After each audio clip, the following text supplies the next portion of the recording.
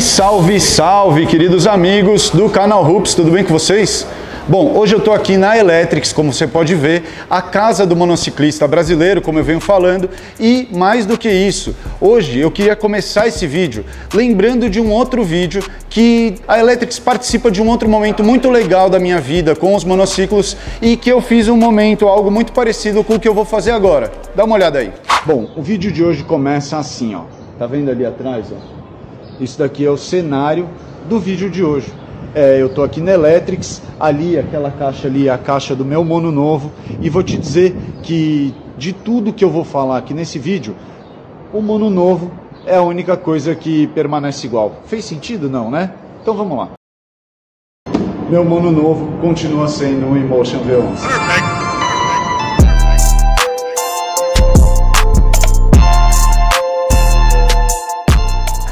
Legal, né? Foi um momento especial, não foi nessa loja, foi na outra loja da Electrics aqui, porque a Electrics em São Paulo conta com duas lojas. Então, hoje eu venho aqui para é, fazer um, um unboxing de um momento que eu esperava já há bastante tempo e que você que acompanha o canal viu em outro vídeo eu fazer um teste e eu falar que eu dependia de uma ajudinha. Dá uma olhada aí do que eu estou falando.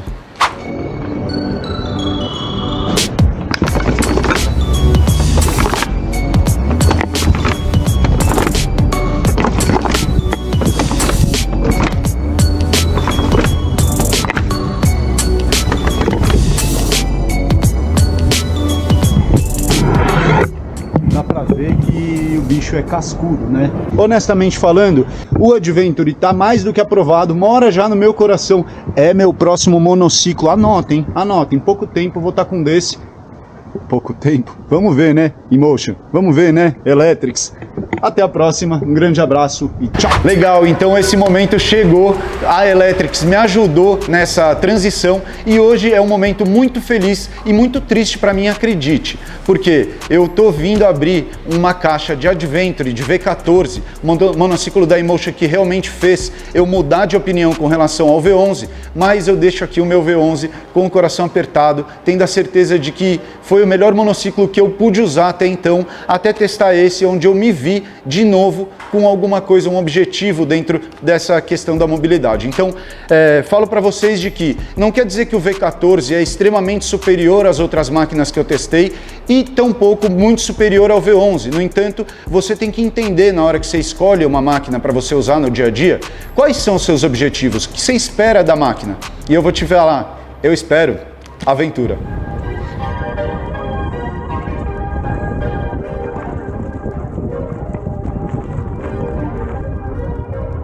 Então chega de falar e vamos abrir essa caixa aqui. Eu tô louco para ver o que, vem aqui dentro, embora eu já saiba, compartilhar com vocês e depois disso mostrar muito rolê de V14 aqui no canal Rups. Vamos lá.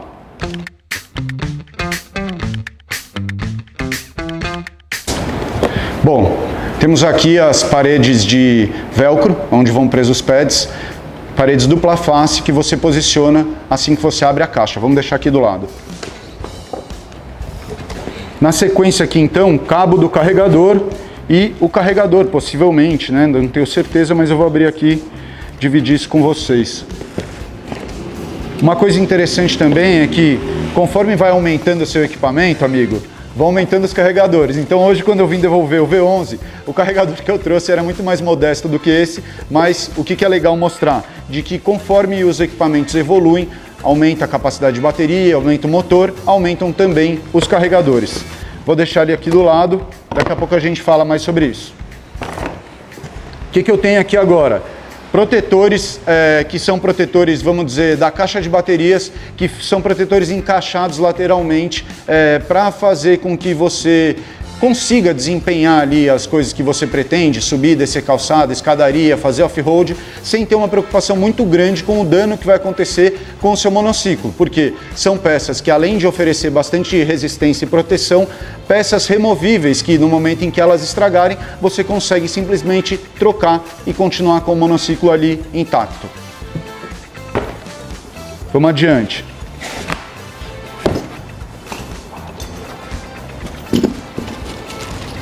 Bom, aqui tem conjuntinho de ferramenta, depois a gente dá uma olhada nisso.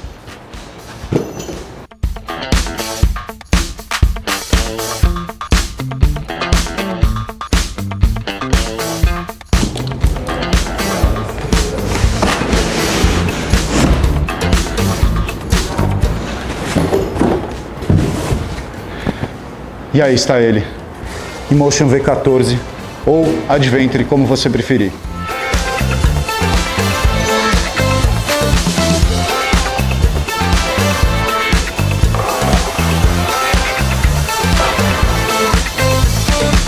É o seguinte, galera, vou parar agora aqui e vou mostrar nos detalhes o que você tem que fazer quando você pega uma máquina como essa nova. Uma das coisas que você reparou é que eu fui tentar colocar ele no Quick Stand, mas ele não vem instalado. Então, acompanha aí qual é o passo a passo do momento quando você adquire o seu V14 e fica feliz, com cara de criança, meio bobo assim, do jeito que eu tô agora.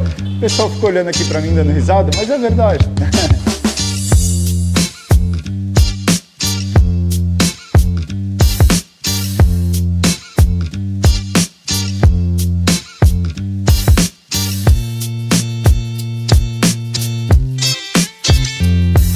Galera, agora o que, que eu fiz? Eu abri esses saquinhos que vem é, com algumas pecinhas dentro. Algumas delas são chavinhas, né? Como chaves Allen é, bem padrão aqui como essa. É, temos dois padrões de parafuso. Esse parafuso um pouco mais comprido, pretinho, e temos esse aqui que é um parafuso bem pequenininho, bem pequenininho mesmo, é, que a gente vai descobrir agora como faz exatamente para montar. Tem mais isso aqui, ó, que são umas chapinhas de ferro que eu não sei exatamente onde vão, mas a gente já vai descobrir. E tem algo muito importante, que é o tal do Quick Stand. Então eu vou fazer a montagem desses itens agora, você vai acompanhando aí e daqui a pouco a gente volta para conversar.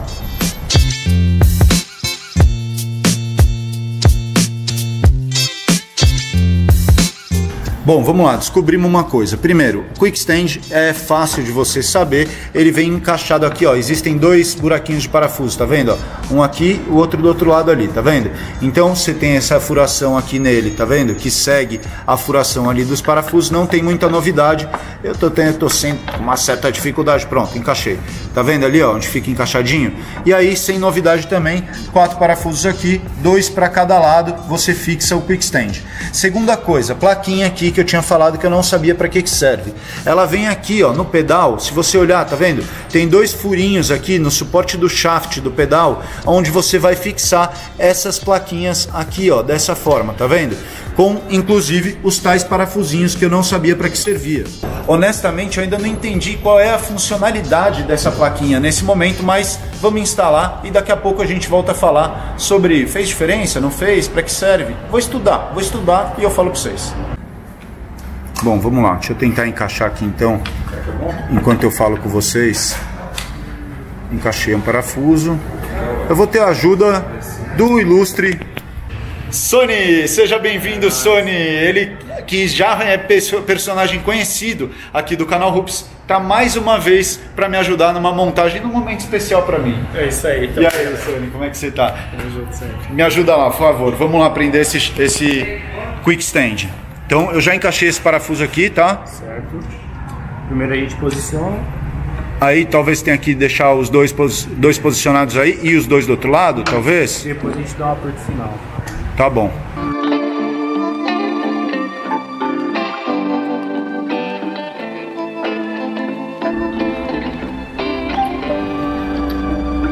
Galera, é o seguinte, deixa eu mostrar para vocês uma coisa que eu descobri agora. Eu olhei que a gente tem essas pecinhas, como eu te falei, que é o protetor da caixa de baterias. Mas eu vi que aqui nele já vem instalado o protetor, tá vendo? E aí nesse momento eu achei que pudesse inclusive se tratar de peças que vêm sobressalente para você poder fazer a troca caso elas venham a estragar. Bom, que, que a gente chegou à conclusão? Que isso não é exatamente uma peça de reposição. Isso é, para quem não quer instalar aqui o Quick Stand, tá vendo? O Quick Stand fica na parte, na outra parte, tá vendo? Aqui é uma ponta da caixa de bateria, o Quick Stand fica na outra ponta da caixa de bateria. Então, para quem não quer instalar o Quick Stand, coisa muito esquisita, mas pode ter gente que não queira, você tem esse suporte para instalar lá daquele lado para mim, de verdade, se eles servirem, eles vão ser peça de reposição, porque os da frente vão acabar. Bom, deixa pra lá. Agora, ó, tá vendo? Fazendo a instalação daquela chapinha de metal que fica aqui presa, como eu estava falando, no suporte do shaft do pedal. os parafusinhos pequenininhos. Isso aqui, gente, para mim, aparenta que se trata basicamente de um batedor, porque como a gente está falando um monociclo que é na versão Adventure, ou seja, ele vai sofrer impactos, impactos, impactos. Dessa forma, havendo desgaste da peça, você troca só essa chapinha e não tem o shaft, né, que é parte estrutural do monociclo, sendo afetado. Agora, tem também essa outra pecinha aqui, ó, que ela serve para quê? Ele é um batedorzinho que tem aqui na frente, ó, tá vendo? Do mono. Ele vem com esse batedorzinho que você pode apoiar ele para frente também, caso você queira. E esse aqui, aparentemente, é uma peça de reposição, aí sim, peça sobressalente. Como no canal Rups você aprende as coisas assim no momento que elas vão acontecendo, o que, que a gente descobriu? Na verdade eu, né? O Sony tinha falado e eu não tinha me atentado ao fato.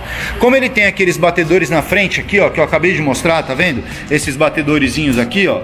Como ele tem esses batedores, você coloca ele de frente e para você instalar o Quick Stand ficou muito mais fácil. Ô, Rodrigo! Ô, Rodrigo!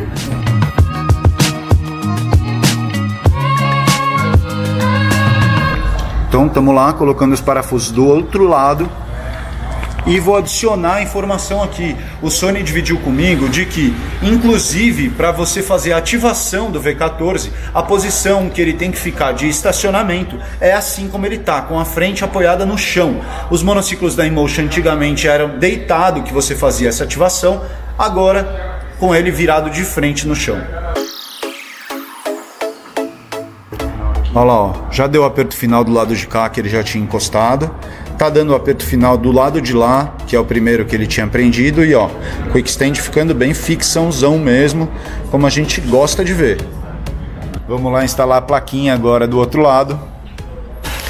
E galera, é o seguinte, como em vídeo a gente cria coisas que eu posso chamar de milagre de edição, apareceu agora aqui do meu lado o que? A caixinha dos pads do V14. Então é importante também eu abrir e mostrar elas para você, elas não, eles para você, o que vem dentro da caixinha. E mas isso eu vou guardar para o momento em que a gente for colocar primeiro uh, os velcros, né? Então a gente cola os velcros, aí eu abro e mostro para vocês, mas é importante saber que ela vem uma caixinha adicional, não vem dentro da caixa do próprio monociclo. Olha lá, ó, liguei ele. Para quem tá vendo aí, ó, tá vendo essa luzinha vermelha aqui, ó? Tá mostrando de que tem algo a ser feito. E também ele não ativou o motor, o estabilizador, porque ele depende da ativação via aplicativo. E é isso que a gente vai fazer agora. Connected before, então dá para saber que é esse aqui, porque o outro eu já conectei antes. Tá aqui dizendo. Então beleza, conectei ele está mostrando ali uma série de coisas de como faz a montagem e tal, explicando como funciona o mono. Tá vendo? É um, um bando de informação importante, principalmente para quem não entende de monociclo, né? Tá vendo? Uma pequena aulinha, inclusive, mostrando como funciona. Aí você vem aqui, aceita os termos e dá um Activate Now.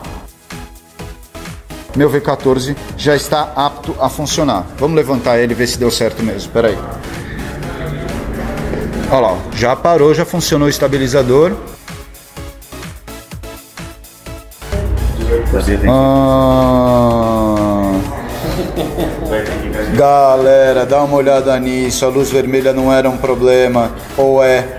Eu tô sem bateria, 18% apenas de bateria. Mas se tem um bom, um bom acontecimento que vem junto com esse, é eu estou na Electrics. Eu tenho um carregador do meu que veio e tem um outro carregador do deles aqui vou plugar dois carregadores e vamos fazer essa carga mais rápida. É isso aí, Danilo. Não fica olhando com essa cara, não.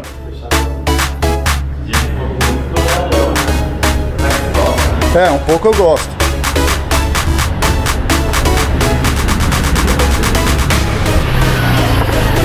Bom, para que, que valeu esse primeiro rolê? Para ver que os tais dos batentes, lembra do pedal, protetor de shaft, eles podem até ser importantes. Eu vou procurar saber mais para frente se eles são é, algo que faça proteção contra o dano né, no equipamento.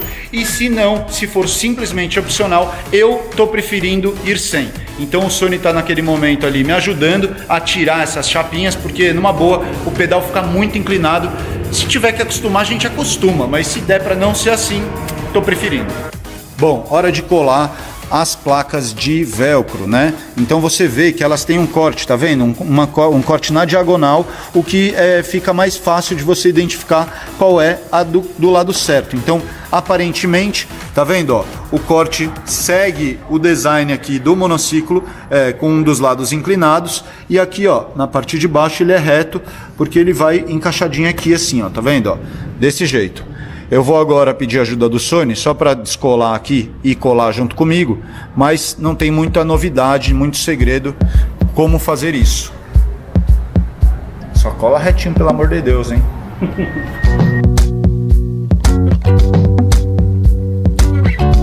Pulando bem alinhadinho, tá vendo? Com o acabamento do mono aqui e que automaticamente vai estar tá alinhadinho com a parte de baixo aqui. Já foi um lado, agora o outro vai seguir ali a mesma lógica de sempre, que é encaixa a parte de baixo, mas não cola. A linha ali na parte de cima, que é a parte que tem a ver com o design do mono, que tem até a curvinha ali. Acerta bem acertadinho que nele fez aqui, ó. Vocês viram? Garantindo que tá bem ajustadinho aqui. E pronto, aí só apertar ele lá mesmo que a cola, o autoadesivo faz o resto. Vou abrir agora a caixa aqui, ó, dos pads. Vamos dar uma olhada como eles vêm. Olha lá, ó. Caixinha dos pads aqui. Então a gente tem conjunto de três pads para cada lado, ó. Tá vendo? Um, dois, dois iguais aqui. Tá vendo? E esses dois aqui. Então são três pads para cada lado. Vou colar ele ali no velcro. A gente tem também essa pecinha aqui que ainda preciso descobrir para que ela serve. Já falo para vocês. Bom, vamos lá, eu descobri então para que serve. Então a peça maior, é, ela serve para isso, ó, fazer a união de dois pads, tá vendo? Ela está encaixada aqui no meio, ó, bem aqui no meio aqui, ó, e ela faz a união de dois pads. Agora, a outra pecinha pequenininha, essa daqui, ó, que é uma pecinha que tem um velcro de um dos lados, tá vendo? Mas não é autoadesiva do outro lado, ela é só uma peça de um dos lados. E é para isso aqui, ó, tá vendo que aqui você tem uns guias? Então esse guia ele mantém é, a posição do pad quando você definir. Então, definir onde eu quero o pad, você coloca isso daqui preso lá no velcro do próprio monociclo e caso você venha tirar o, o pad, a marcação continua no mesmo lugar e você sabe onde colocar ele. Então, ó, melhor do que fazer errado, eu fui pegar na internet como que monta certinho aqui os pads, tá vendo? É, para ter ideia da posição deles certinha. Aí o que eu tô fazendo? Tô montando eles aqui já jumpeado, tá vendo? Com a pecinha de encaixe ali, ó, já deixando meio jumpeadinho. Vou fazer isso também com outro conjuntinho aqui. Aí pego eles todos junto com essas pecinhas, vou lá, defino qual é o melhor lugar e já deixo fixo. Ó, galera, se liga, ó, dois carregadores como eu falei, os dois ligados aqui no mono, tá vendo? Ó? E eu estava com 18%, como vocês viram, já estamos com 34%, olha lá, ó, carregando, já tem nível para eu ir embora. E eu vou falar para vocês uma coisa, deve ter passado aí, sei lá, 40 minutos, acho que não mais do que isso, o que é muito bom você ter dois carregadores, um eu já estou levando para casa, o outro precisa ir atrás.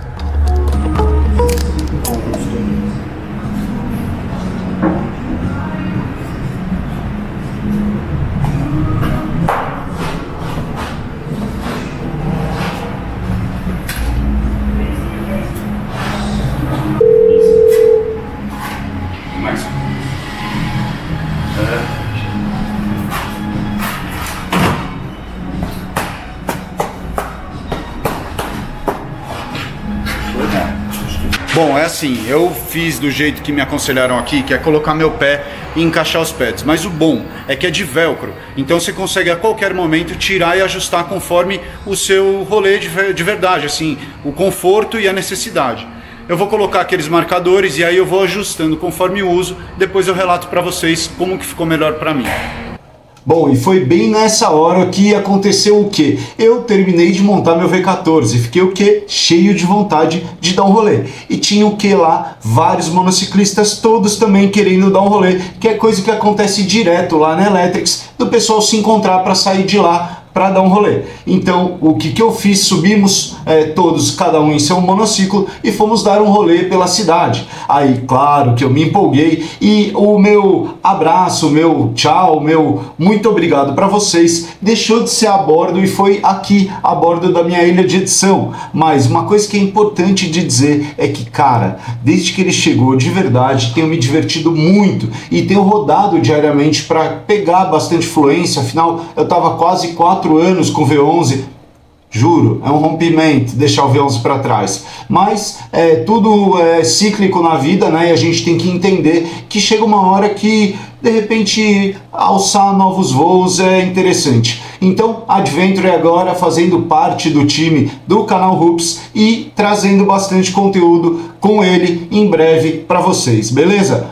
Desde já, vou agradecendo você que assistiu esse vídeo até aqui, pedindo que você deixe aí seu comentário do que você achou desse unboxing, do vídeo, de eu ter feito essa troca, deixa aí sua curtida, o seu valeu demais, que dá muita ajuda, muita força aqui para o canal, assim como se tornar membro. Então, eu vou indo nessa mais uma vez, agradecendo de coração a cada um de vocês. Um grande abraço, até a próxima e tchau!